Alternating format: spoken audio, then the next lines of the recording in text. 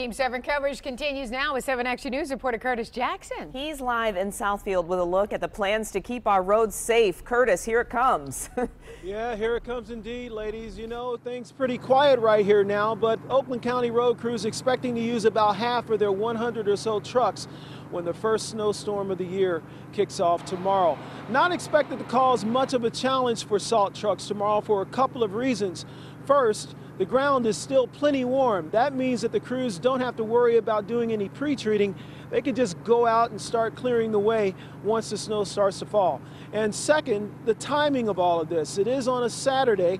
That means traffic is going to be very light and salt trucks should have no trouble getting around once those first flakes start to hit the ground. That is their strategy right now. Just wait and see how it all plays out and then get out on the roads as soon as possible to start clearing the way. Of course, None of this means that you should take this lightly.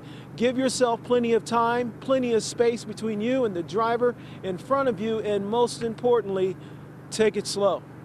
Live in Oakland County tonight, Curtis Jackson, 7 Action News. That is the truth. Thank you, Curtis. The